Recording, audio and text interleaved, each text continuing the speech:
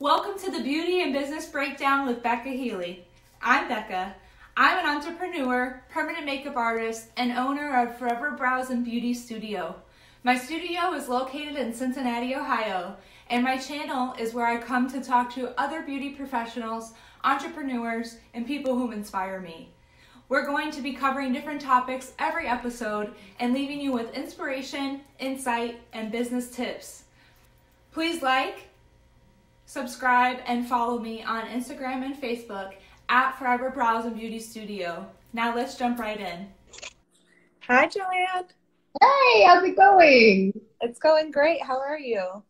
Good. Oh, one sec. I pushed something that I wasn't supposed to push. There we go. Okay. That's so funny. You're talking about your tumbler. I pulled mine out too. Yes. Cheers. Cheers. funny. I just have like BCAAs in mine, no booze. Yeah, mine's just. I don't know what to. There you go. Got to stay hydrated. right? So thank Thanks you for so having- for joining me. Yeah. super excited. Super excited to talk about this. This is something that's like so many of us are going through and have been through and all of that. Thankfully, I'm in the tail end of it. So it, uh, yeah, been there, done that, you know, wrote the book, read the book. But yeah, it's a lot. Yeah. So I was just telling my um, audience to let them know, like, I'm not a mom. I don't have, I'm single. I don't have children.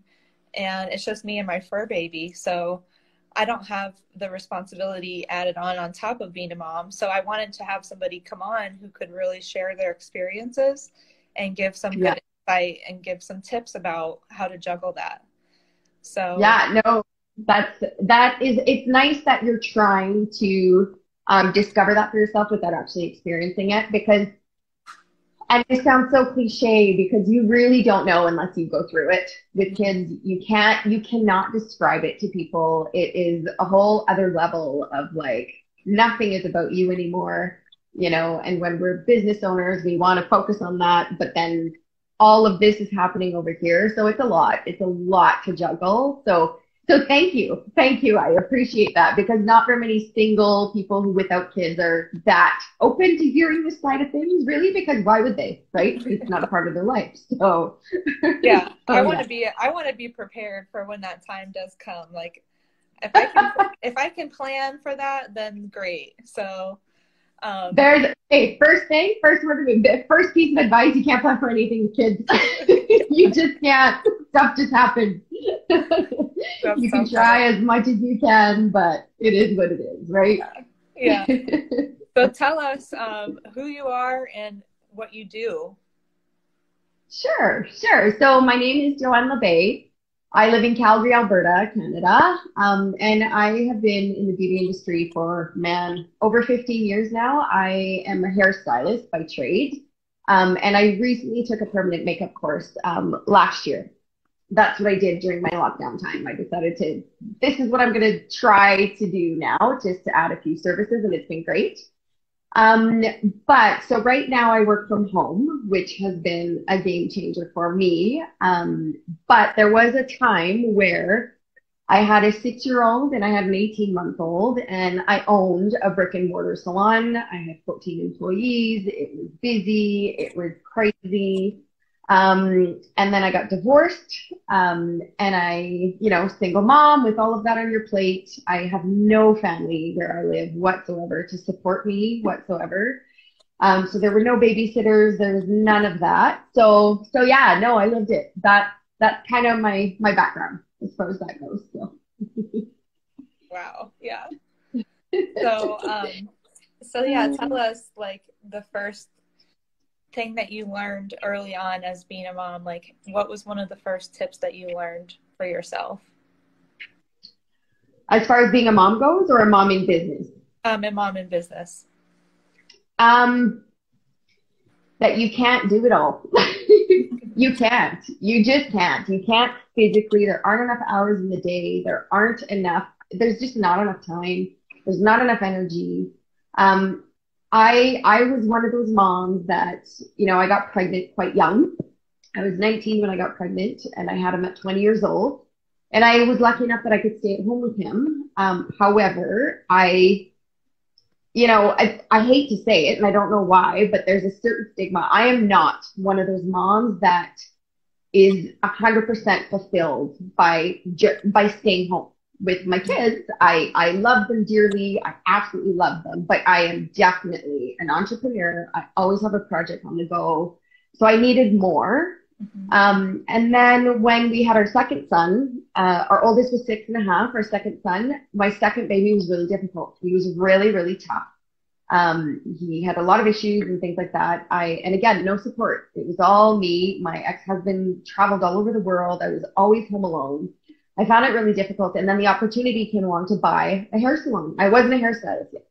Mm-hmm. And so it, um, I honestly was having such a difficult time being home. I clearly was depressed. That's another thing that comes with all of this too, postpartum depression with having babies and things like that. I, again, I love, I love my kids. I love them dearly. I would do anything for them, but I needed, I needed to do something else. And so, you know, like I said, you just can't do it all. So clearly I found, you know, a day home to take care of him during the day. And it just gave me that, I don't want to say break. Well, it's a break. For me, it was a break, basically. Mm-hmm. Um, he was really, he was colicky, he cried all the time. He, anyways, really tough kid. Um, so going to work was like my saving grace as far as that goes. But with that came a whole other pile of problems or issues or struggles, right? So I just remember being late for everything. I was late for work because I was getting the kids ready and on the bus and they would miss the bus. Or, you know, I was late coming home for dinner because I was with a client. Um, with hair, hair is a little bit different than permanent makeup. With hair, you never know what time you're going to be done at. You never know if that color is going to work the way, you know, if the highlights are going to lift properly. You never know how the hair is going to react. So that oftentimes I had to stay late to finish a client. So yeah, yeah, it's my biggest tip is to not don't put everything on your shoulders. Don't feel guilty all the time because we all know that there's mom guilt. It doesn't matter what you're doing, there's mom guilt all the time. Um, when you're home with your kids, you have a million other things that you need to do. You feel guilty about not getting to it. And then when you're doing those things, then you're, you feel guilty about not being with your kids. So it's just a constant internal battle of guilt. Um, uh, that's really tough. Yeah, it's hot. It's hard. It is really hard. Um, yeah, don't compare yourself to other other moms because you know what? There's always going to be someone out there that has more time, that has more money, that has a nanny, that has family around you to help you, you know, to help them and things like that. So if you are in my position, I I felt guilty all the time. I was late for everything all the time. Mm-hmm. Um, and in the end, like I put so much pressure on myself in all areas of my life that when it came to my kids, I worked so much at one point. My my youngest was four, and I came home one day, and this is what changed it for me. I came home one day, and he looked at me, and he he looked at me. He's like, "Why are you here?" And I was like, "What do you mean? I'm I'm home." But it, I was never home. I was never home. I was working all the time because I owned a business. Mm-hmm. So you know you're a business owner. You work all the time. It's yeah. there's always something that you have to do, right? That's why I'm so, single. Yeah, that's that's yeah, yeah. single life. Yeah. Right. It just there's always something to do, and yeah. spreading yourself to, so thin to the point where everything suffers isn't isn't the way to do it at all. So if you can delegate, if you can, you know, ask for help, receive help, don't be afraid to ask for it because you need it. I don't care who you are. You need the help if you have kids and a business for sure. So, so yeah, does that answer your question? yeah, it does for sure. Okay, good. so, so, how did you go about making that happen for yourself and finding the work-life balance? Like, how long did it take you to find a balance? It's I don't I don't know that I truly ever did to be honest. Um, it I it did balance out a little bit more. You know, I hired staff, I hired receptionists, I hired an accountant, I hired all those people. Um, but it never really I don't think it ever really balanced out. Um, my oldest son saw the difference. I was home with him until he was, you know, well, until he was in school, really. I was home full time with him and, you know, we did the parks, we did the crafts, we did all of that. Um, but my youngest never really got that uh, with me personally, um, because I was always working. So I don't know that I ever really found it. Um, you get better at it for sure. Um, I used to say yes to all of the clients, you know, especially when you're starting out, you, you have to take what comes in because you're building a clientele and you, you know, you really want to make it work and all of that. So, um, yeah, I said yes to a lot of clients. So I've learned to say no for sure. That makes a huge difference. I used to answer, you know, messages and requests and all that at all hours of the night. I used to have clients that would, you know, send me messages at two in the morning and I would answer them like, hello, that's ridiculous, right? I was up with my baby, so I was like, oh, whatever, I'll just, you know, I'll just answer this. But no, yeah. no. So it's really important to set boundaries for sure. Mm-hmm. Set boundaries and actually stick to them, right? So that definitely helped a lot as far as that goes. And um, my kids are big now, so it's a lot easier, right? And I work from home, so I don't have an actual physical space that I'm attached to that I have to get to all the time. Um, I think a lot of arguing with partners also, right? Like it's like you say, you said it's the reason you're single because it's you have to do certain things when you own a business. And if your partner isn't entrepreneurial in any way, shape, or form, they don't understand. Right. All they see is you working all the time, right? Mm-hmm. So, and constantly putting out fires and things like that. So, so yeah, so definitely delegating, setting boundaries, you know, mm-hmm. we can say to set boundaries all we want, but you have to stick to them. If you don't stick to them, they're useless, right? And then clients just won't follow anything that you say. Like they won't believe anything that you say, right? So, mm-hmm. so yeah, yeah, I would say that's probably the best way. Um, now that now that my kids are big, I I really worked on setting those boundaries, and now I work four days a week, um, mm-hmm. and it works out great. So I do have that time with my partner, and I mean, my kids want nothing to do with me right now. They're big, they're doing their own thing, right? It's just my oldest is slowly coming back around and things like that. You know, he'll text me, "Hey, mom, what do you do on Sunday? Can I come over for dinner or whatever?" Mm-hmm. But my youngest is just. I mean, if it weren't for COVID right now, I would I wouldn't see him. So it is it is. how, so old, how old are they now? So my youngest is 16, um, and my oldest is 23, and I have two boys, and that's a that's a that's another you know thing too. I think honestly, boys younger they're difficult because they break everything, all of that. But older, I think they're a lot easier than girls as far as that goes. So I think I had it pretty easy as far as the teenage years go. So yeah, yeah. So it's quite it's it's yeah no it's quite the uh it's a juggling act for sure um for sure i can't even tell you and this is, you know, I have a lot of regrets as far as um, the way that I handle things back then too. I, I, my kids went. I, I, I honestly don't remember if I even went to a single Christmas concert. You know, things like that. I would miss their sport events all the time and things like that. And that don't do that. Don't do that because that's you know, your kids, your kids don't care if their birthday parties are like Pinterest worthy. They don't care. They care that you're there. They care that you spend time with them. That's all they'll remember, right? So, mm-hmm. so yeah. And I think every parent has regrets. Everyone does. We, we do it, you know, we do the best we can. And when you have a baby, they tell you, you know, do what you can to survive. It's kind of the same thing when you're an entrepreneur with kids. You just every day is a grind. Every day there's fires to put out at work. There's fires to put out at home. Um, yeah, no, it's it's hard. It's really hard. So I don't know if I'm the bearer of bad news or not. I don't want to be, but it's be prepared. It's rough. It's really tough. And it, if you're, I mean, if you're a business owner now and you've learned to delegate, then maybe that part of being a mom won't be so hard for you if you do have kids. But I had no support whatsoever. I had no family here at all. So it was rough. So yeah. yeah. So out of that, like to spin that around, what would be the most rewarding part about being a mom and a business owner? You know what? For years, I I constantly questioned, like, am I doing the right thing? But I was a better mom if I was a business owner. I honestly was. I wasn't as grumpy. I had more energy when I was with them.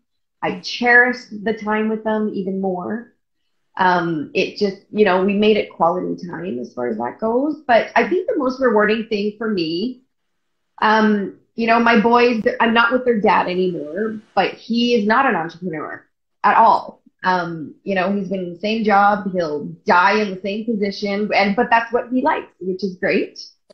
Um, for me, you know, a little while ago, my oldest, he he started to dabble in photography and things like that. He started an Instagram account, and the little bugger, I didn't realize he had it in him, but he's he's basically building a business with that. He has sold a bunch of his images. He's been hired to do photography for a bunch of events in our city and things like that. So that's super rewarding for me because I'm just like, ah, he's figured it out, right?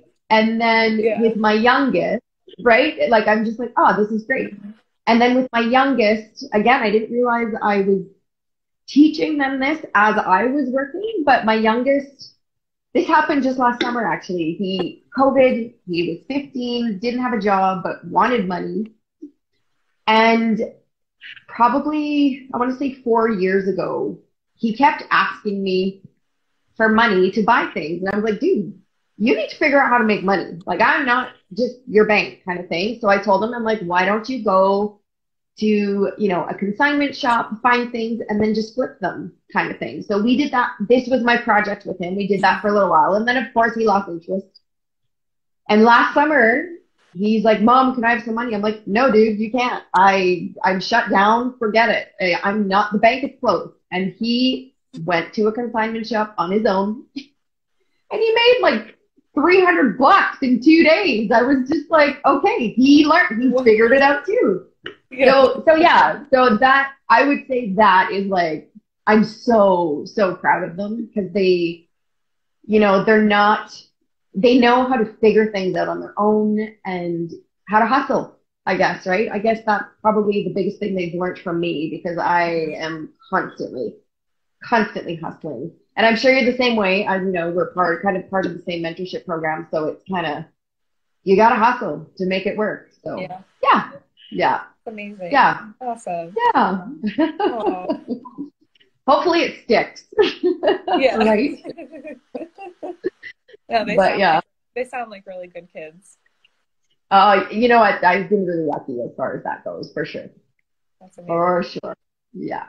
So, yeah, no, it's um, I don't know. It's like I said, it's it's a constant balancing act, and don't think that you will ever ever achieve perfect balance because it doesn't exist. It absolutely does not exist. It's just it's constantly, you know, it's an ebb and flow of things, and it's just back and forth, and you just kind of have to roll with it. And that's the other thing, right? Like kids are unpredictable. There's emergencies. There's, oh, you know, you have this big, you know, you're attending a conference or you're speaking at it, you know, you're, you're teaching a class and your kid just threw up at school. Like you have to go get them, right? Things like that. So it's, you just have to roll with it. Learn to be easygoing. Otherwise you'll die. You'll drown. so, so yeah. right? That's, that's probably my biggest piece of yeah. advice. Do what you have to to survive.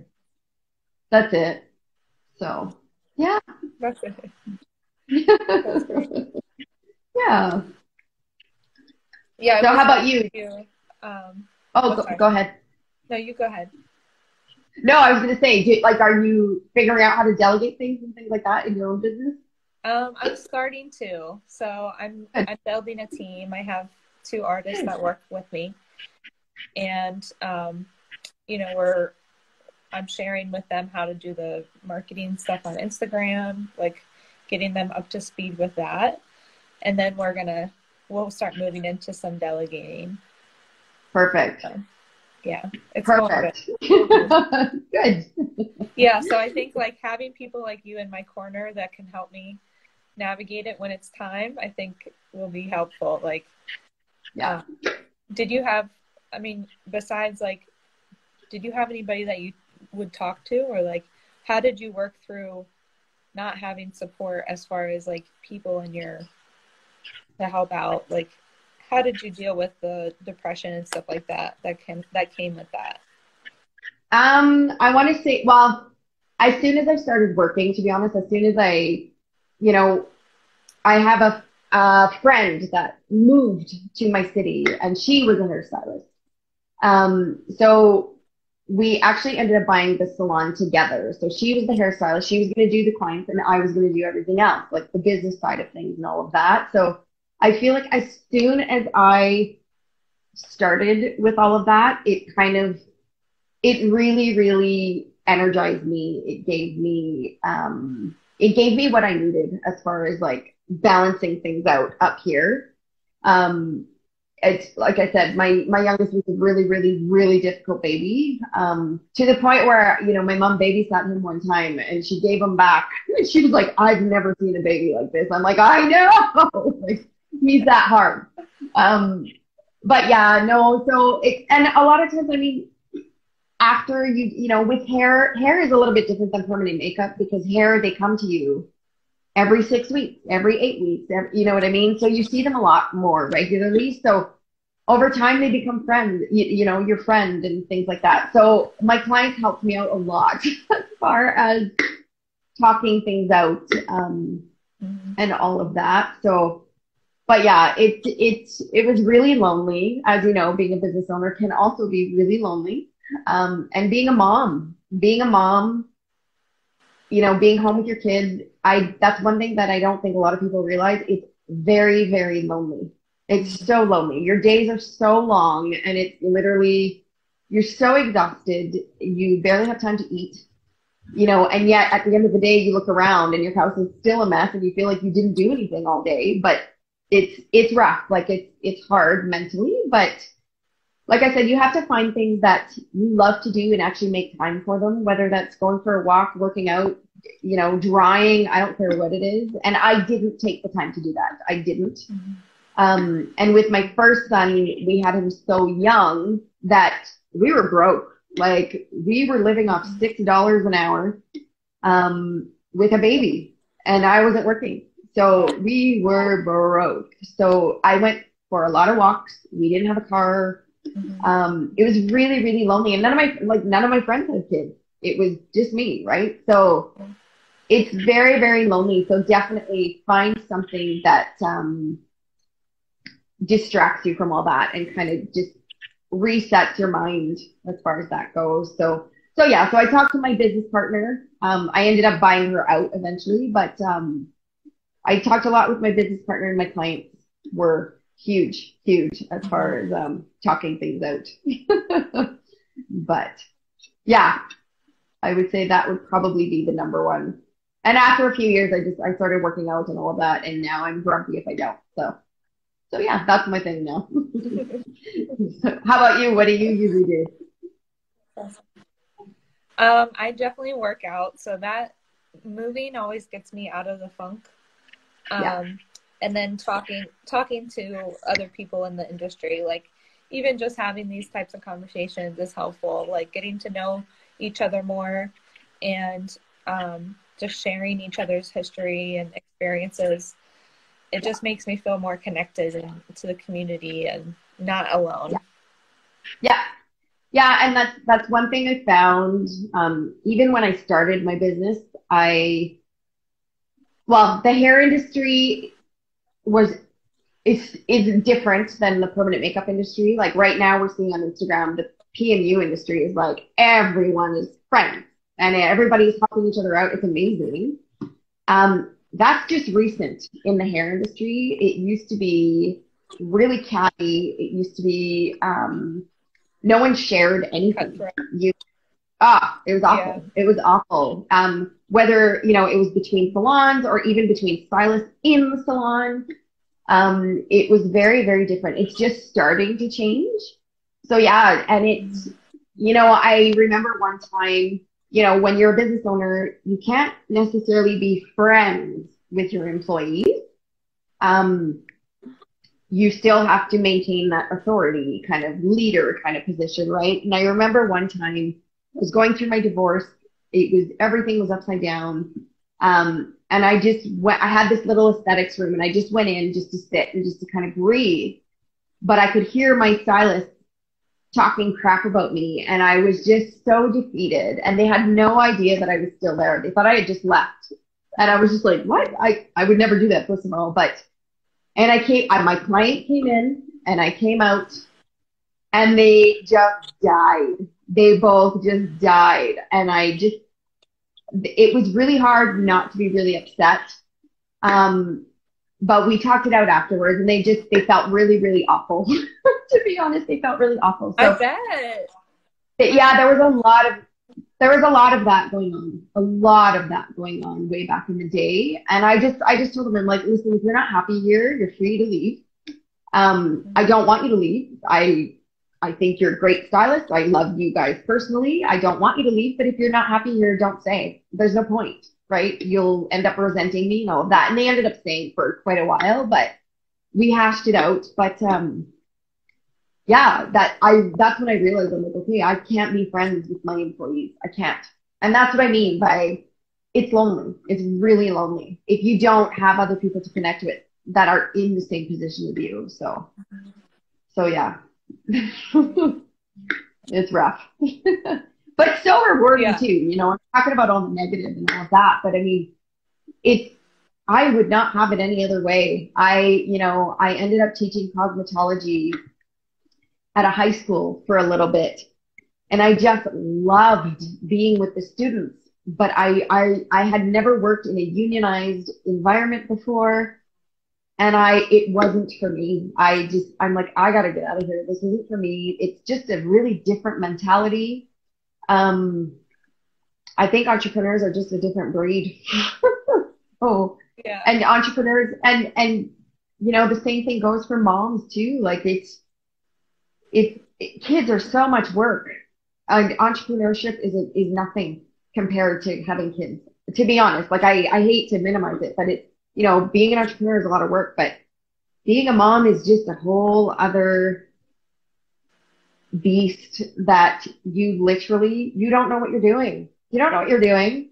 You just have to survive. You keep your kids fed and watered and spend time with them.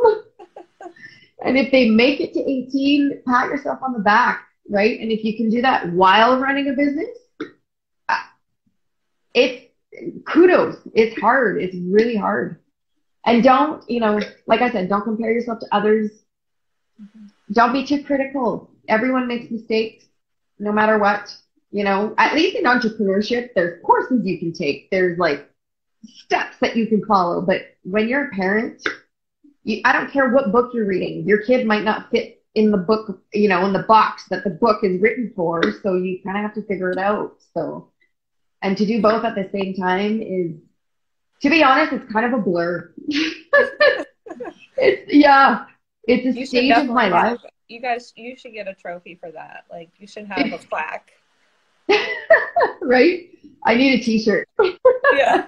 but yeah, it's kind of a blur because every single day is okay. I have to get up. I have to get my kids ready for school. I have to make them breakfast. I have to make sure their homework is done. I have to get them to school on time. And then, oh, I have to go stop at the bank to, you know, make a deposit and da da da da and all this stuff. I got to get more cash for the float at the salon. And I don't know about that anymore. I don't know who, you know, people really use cash anymore, but back then, um, there's just an endless list of things to do and just you cannot beat yourself up if you don't get to it all mm-hmm. it's the the world's not going to stop turning it's fine right yeah. that's that's definitely something i've learned as well is to not put so much pressure on myself mm-hmm. um and not to get upset you know don't get upset don't react emotionally to things and i remember i would have a really hard day at the salon and then I would come home and almost take it out on my kids in a way.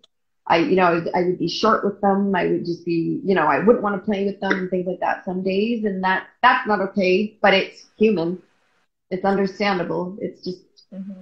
just turn the page, reset the next day and start over. Your kids will come, you know, your kids might be upset with you for 10 minutes, but the second the second they need you or need something from you, they're gonna love you all over again. It's fine. you know, in an hour when they need to be they need to eat, they'll be fine.